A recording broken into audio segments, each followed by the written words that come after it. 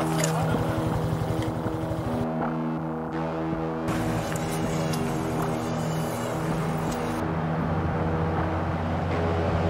गाँव है हमारा नादी गाँव, उसमें चार हिजबुल मुजाहिदीन के टेररिस्ट उसमें मारे गए हैं।